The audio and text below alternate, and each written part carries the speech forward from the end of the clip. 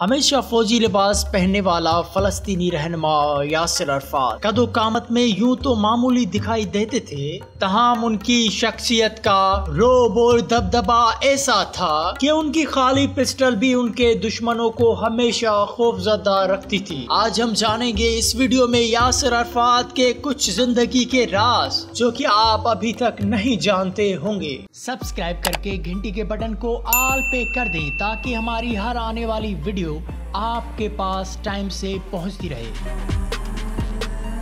फलस्तीन के आज़ादी के लिए सरगर्म तंजीम। पीएलओ के सरबरा यासर अरफात। की सवान उम्री लिखने वाले एलन हार्ड बताते हैं कि यासर अरफात का कद तकरीबन पाँच फुट चार इंच या शायद इससे भी कुछ कम था और वो एक जगह चैन से नहीं बैठ सकते थे। इसराइल के मारूफ फकीर जोइस सिंगर का कहना है कि उन्होंने यासर अरफात से बेहतर कोई बात करने वाला नहीं देखा। जब सब समझते थे कि मुजाकरात अपनी आखिरी मरहले में पहुँच चुके हैं और अब समझौता होने ही वाला है। लेकिन यासर अरफात अचानक अपने मुतालबात में इजाफा कर लेते थे। यासर अरफात के चीफ सियासी मशीर हानी उल हसन कहा करते थे कि अरफात किसी भी जगह बैठने से पहले हर चीज़ को देखा करते थे। हर चीज़ का मुताला करके देखते थे कि कहीं कोई ऐसी चीज़ तो नहीं जिसकी वजह से उसकी जान को खतरा हो। उनका मजीद कहना है कि हम अगर बात भी कर रहे होते थे तो अरफात अपनी जगह जगह चेंज कर लिया करते थे। उनकी एक जगह से दूसरी जगह शिफ्ट होना इतना खुफिया हुआ करता था कि उनके दोस्तों को भी पता नहीं चलता था। अब आपको बताते हैं, यासर अरफात के अकवा मुतहदा में खिताब के मुतालिक। तेरह नवंबर उन्नीस सौ चौहत्तर को न्यूयॉर्क अकवा मुतहदा के हेड क्वार्टर में सख्त सिक्योरिटी थी। उस दिन यासर अरफात को अकवा मुतहदा के जनरल असम्बली में तकरीर के लिए मधु किया गया था। पहली बार ये किसी ऐसे इंसान को एजाज हासिल होने वाला था, जो कि किसी मुल्क का कायद नहीं था। उस जमाने में अरफात के करीबी साथी और बाद में फलस्तीनी इंतजामिया के पहले वज़ीर खारजा नबील शाह को अभी तक वो दिन याद है। नबील शाह कहते हैं कि अरफात ने पहली बार वो चीज़ तस्लीम की थी, जो उन्होंने कभी पहले कबूल ही नहीं की थी। उन्होंने अपनी दाढ़ी मुकम्मल तौर पर साफ़ करवा ली थी और नया सूट भी पहन लिया था। खाकी सूट बहुत अच्छे तरीके से इस्त्री किया गया था। था और वो बिल्कुल चमक रहे थे। उस दिन अरफात न्यूयॉर्क में हेलीकॉप्टर के ज़रिए उतरे थे और सदारती दफ्तर पहुँचे थे। अरफात ने उस दिन अपनी तकरीर का इख्ताम दो यादगार जुमलों से किया।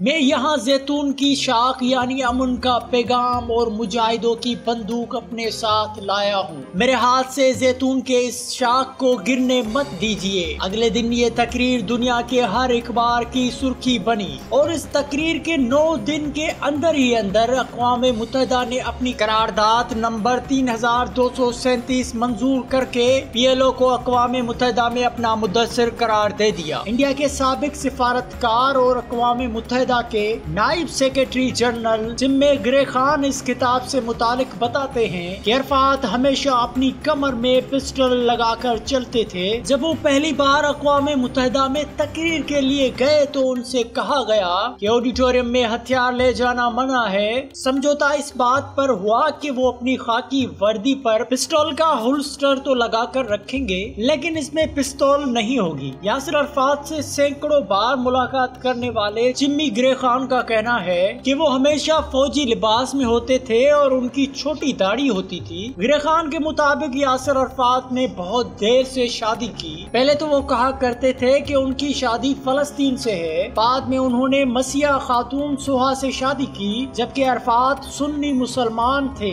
कहा जाता है कि सोहा अरफात को बहुत चाहती थी। उनकी एक बच्ची भी थी जो यकीनन अब बड़ी हो गई होगी। मशहूर सहाफी श्याम भाटिया को यासर अरफात से कई बार मिलने का मौका भी मिला। एक बार इंटरव्यू के दौरान वो नाराज़ हो गए। श्याम भाटिया कहते हैं कि उन दिनों अरफात का इंटरव्यू करना बहुत ही मुश्किल था। उनके स्टाफ ने मुझसे कहा कि अगर तुम अरफात का इंटरव्यू करना चाहते हो तो उनके लिए शहद की एक बोतल ले आओ। एक बार में मैं इंटरव्यू के लिए तुनिस गया। थोड़ी देर बाद मैंने उनसे पूछा कि क्या मैं आपकी बीवी का इंटरव्यू कर सकता हूँ? और अरफात को गुस्सा आ गया। अरफात ने कहा कि तुम्हारी हिम्मत कैसे हुई मेरे बीवी के बारे में बात करने की? और फ़ौरन कमरे से निकल जाओ। मैंने डरते डरते हुए कहा कि मैं आपके लिए शहद की बोतल लाया हूँ, जो बाहर मेज पर रखी हुई है। होटल पहुँच मैंने अपने कमरे का दरवाज़ा बंद ही किया था कि दरवाजे पर जोरदार दस्तक हुई। भाटिया कहते हैं कि बाहर अरफात के दो मुहाफिज खड़े थे। वो मुझे गाड़ी में बिठाकर उनके घर ले गए। दरवाज़ा खुला तो अरफात एक बहुत ही खूबसूरत खातून के साथ खड़े थे। उन्होंने मुझे कहा कि मेरी बीवी सुहा से मिलिए। वो कहने लगे कि वो नकली गुस्सा था। आप रुकिए और हमारे साथ खाना खाइए और शहद के लिए बहुत बहुत शुक्रिया। नाजरीन, ये एक तरह की मुझे कहानी लगती है। एक फ़ेमस लीडर जिसको शहद क्या नहीं मिल रही थी, जो किसी के शहद देने पर वो खुश हो रहा था। आप इस बारे में क्या सोचते हैं? कमेंट करके हमें ज़रूर बताएँ। यासर अरफात अपने फजाई सफ़र को बहुत ही खुफिया रखते थे और मेजबान मुल्क को पहले से नहीं बताया जाता था कि वो वहाँ आने वाले हैं। उनका अक्सर इंडिया भी जाना होता था, जिनमें ग्रे खान याद करते हुए कहते हैं, जब भी अरफात यहाँ आते तो हमें दो या तीन घंटे पहले ही खबर मिलती थी कि वो आ रहे हैं। उसके बावजूद इंदिरा गांधी उनका इस्तकबाल करने एयरपोर्ट पर जाया करती थी। जिन्हें वो माए सिस्टर यानी मेरी बहन करके पुकारा करते थे। इंडिया के सबक वज़ीर आज़म राजीव गांधी से भी उनके बहुत गहरे ताल्लुकात थे। राजीव गांधी जब उनसे मिलते थे तो ज़ोर से गले लगाया करते थे। यासिर अरफात बेनजीर भुट्टो के भी बहुत ही करीब रहे। एक बार दोनों के दरमियान एक मज़े का खेज वाक्य पेश आया। जब बेनजीर भुट्टो वज़ीर आज़म बनी तो उन्होंने अपने चीफ प्रोटोकॉल अरशद समी खान से कहा कि ख्याल रखे, मैं किसी भी मर्द लीडर से हाथ नहीं मिलाती। इस दौरान अरफात कराची एयरपोर्ट पहुँचे तो बेनजीर भुट्टो उनका इस्तकबाल करने कराची एयरपोर्ट पहुँच गई अरशद समी खान अपनी सवान उम्री में लिखते हैं, ये चीफ प्रोटोकॉल की ज़िम्मेदारी है कि वो जहाज़ के अंदर जाए और अपने आने वाले मेहमान को खुश आमदीद कहे। मैं अरफात के जहाज़ की सीढ़ियाँ चढ़ रहा था तो बेनजीर ने मुझे बुलाकर मेरे कान में सरगोशी की। अरफात को याद दिलाना मत भूलना कि मैं मर्दों से हाथ नहीं मिलाया कर। जैसे ही मेरी अरफाज से मुलाकात हुई तो मैंने उनको कहा कि एक्सीलेंस बेनजीर भुट्टो नीचे आपसे मुलाकात के लिए खड़ी है। मैं सिर्फ़ आपको ये याद दिलाने आया हूँ कि वो मर्दों से हाथ मिलाया नहीं करती। और अरफात ने कहा कि हाँ हाँ मुझे इस बारे में कई दफ़ा बताया जा चुका है। हम याद दिलाने के लिए शुक्रिया। अरशद समी मजीद लिखते हैं कि अरफात जब जहाज़ से उतरे तो उन्होंने बेनजीर से हाथ मिलाने के लिए अपना हाथ आगे बढ़ा दिया। बेनजीर ने मुझे घूरते हुए हिचकिचाते आगे हाथ बढ़ा दिया।